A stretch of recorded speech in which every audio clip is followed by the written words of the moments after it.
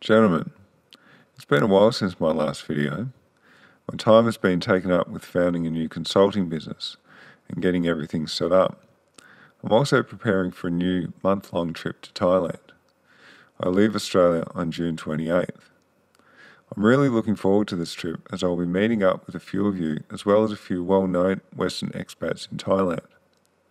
If all goes as planned, I'll be doing a podcast with David Bonney from the Sky TV series Ladyboys.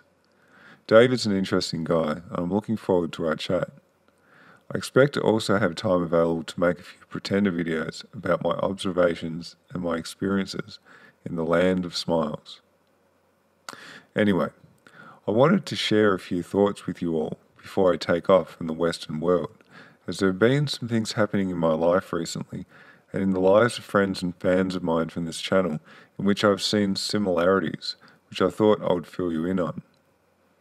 I've been a free man now since September 2012. The four year mark is coming up fast. The past four years have been the very best of my life, by far but they have not been without problems, that's for sure. The biggest problems I've had have been from my social group, the people around me, both in the workplace and from my old friends who knew me as the man that I was and not the man I am today.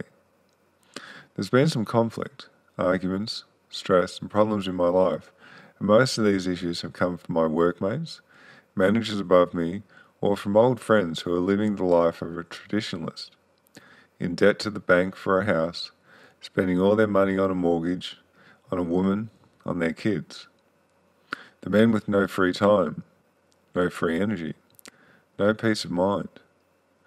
The worst treatment I receive is from the hands of the married men in the office who, judging by the look in their eyes, have miserable, bitchy, moody, nagging wives. The men who fell hook, line, and sinker to the lies they were told from their parents, and from society at large that happiness was living a life of servitude to others instead of them defining what happiness meant and then living that life for themselves. I represent the living embodiment of freedom and the loss of their freedom.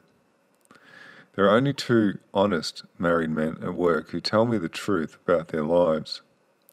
They and the only two I really respect, as they have the guts to tell it like it is and to warn me not to do what they have done. I've essentially become a hated man. My actions, the way I talk about freedom and living life on my own terms, my refusal to comply with those around me, this causes problems. There's nothing more threatening than a truly free, independent man. What are the underlying reasons for this? Well, I'm an unshackled male. I'm not under control in my personal life. I don't give women any of my resources, neither time nor money. I'm not giving any woman emotional or financial security. People who cannot control you will hate you. The people in my workplace who especially hate me the most are the ones who want my compliance and are seeking to gain power over me, yet know that they will never have it. I'm much more widely read than they are, and I bring up feelings of fear, envy, insecurity, and hatred in them due to who I am and what I represent. What has essentially happened over the past four years is my values have changed, whilst the values of those around me have stayed the same, and in most cases have strengthened. Spending significant time in Thailand surrounded by prostitutes, bar owners, Western expats, and others who are interested in living their lives on their own terms has changed me. My heart and my mind has changed, and now I'm really stuck between two very different worlds and trying to live my life and adjust to the on the ground reality of both Thai and Australian societies. This is the most difficult part of my trips, especially the return to Australia, which is the biggest come down ever. It's like coming off drugs without any kind of support. Going from king to servant is not an easy transition. It's really hard, and nobody has any sympathy for you. Why would they? After all, how dare you do the things you're doing overseas?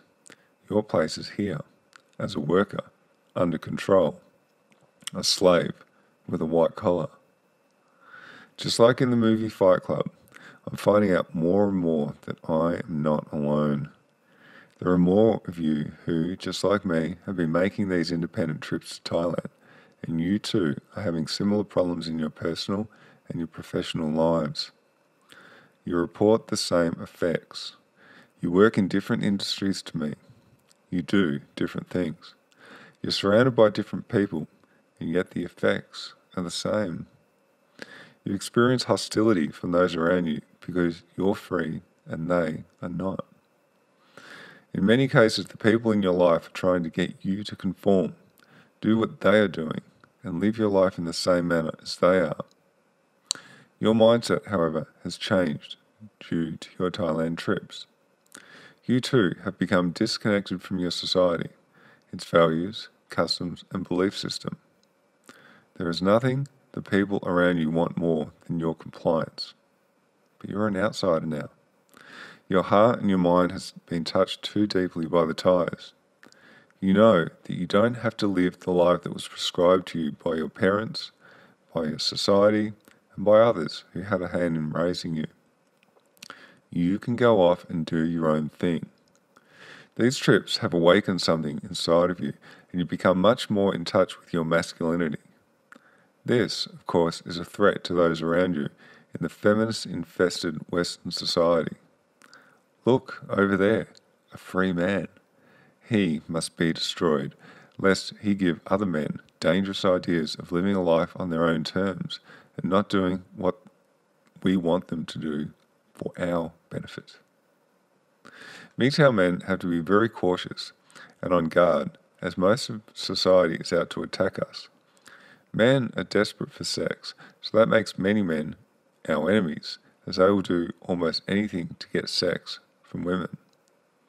Women want emotional and financial security, so you can't trust them either, and they won't like what you have to say, as the truth doesn't bring them any security and is a threat to their agendas to manipulate men into a long term sex for resources contract, otherwise known as commitment.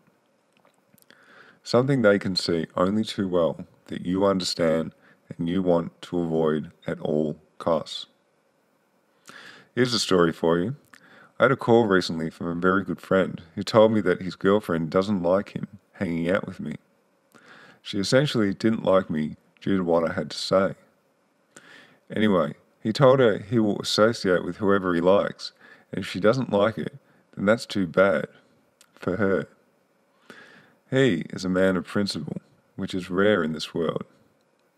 I came to realize after this happened that it's not the ladyboy relationships that is at the heart of our association as men going their own way in Thailand, or our association with each other via this YouTube channel. It's freedom. It's non-conformity to Western societies, mostly women's, expectations of us, and the need to be ourselves and be true to our authentic selves. These are the things that we Western men who love Thailand all have in common. Women want to control us, and they realize that they can't do that, so we are a threat to them and the female collective. Therefore, we must be silenced, lest other men see what we are doing and become influenced by us. Leadership is influence, and having a media mouthpiece like a growing YouTube channel is a threat, especially when you start hanging out with people you've met via the channel. Each of you who contact me through my channel, the story is always the same. You want freedom and to be yourselves, and you can't get that in the Western relationships you're in or have experienced. Some stupid women think that we hate them, but that's not true. Our problem is we are hyper aware of male and female nature, and we talk about it openly. Some of you are much younger than me, so you don't yet have the ability to fully outwardly articulate exactly what you're feeling due to the way you're being treated in Western society. This ability, I assure you, will come to you with time. Some of you, like myself, have been with ladyboys, and you see even more clearly the issues, and that can be very confronting. And as my boss at work said to me recently, about my topics of interest, you're making people reevaluate their lives. Therein lies the problem. We are the glitches in the matrix, so to speak, gentlemen. We are the anomalies. If you think about it, I've experienced the ultimate Poindexter's revenge. The nerd, who was always an outsider, has come into his own, and I've been able to use this disconnection from the Western collective to my ultimate advantage. By not being defined by those around me, I've been able to go my own way and define for myself the life I wanted to live and the man I wanted to become. I feel lucky to have seen the Matrix for what it is, to have met the architect and found the exit door. I'm not the only anomaly. There are other Myers Briggs INTJ Westerners in Thailand. Whilst we are rare, representing just 1% of the population, we're especially rare in Thailand. Rarity has value. I've seen opportunities in Thailand which I could engage in, which would bring me a lot of influence, but which could also ultimately lead to my demise or my incarceration. Big risks, big rewards, personally, but maybe not so much financially. I'd like to leave you with a personal anecdote. My ex fiance loved the Beyonce song, Single Ladies, Put a Ring on It. Became a sort of running joke between us. She was constantly on to me about getting engaged and putting a ring on her finger, but I was always hesitant. This week, something fascinating happened. A colourful friend of mine from Pattaya, who I spent the best New Year's Eve of my life with, was on Australian television, and as a lead singer and dancer, I've provided the link to her performance in the video description. And guess what song she was singing and dancing to? There's something very satisfying about this. She never asked me to put a ring on her finger. Like myself, she loves her freedom far too much to ever do such a thing. Who would have thought that breaking up with my ex, going my own way to Thailand, experiencing the most incredible four years of my life, would bring me into contact with people like this. This life I've been living is so far removed from the monogamous, under control, and manipulated man that I was, there's just no comparison. And there's no going back. Newton said, If I've seen further, then it is by standing on the shoulders of giants. A big thank you to the MGTOW giants who came before me, who have made such a large impact on my thinking and have contributed to the man I am today. Until next time, gentlemen, all the best. I'm the pretender.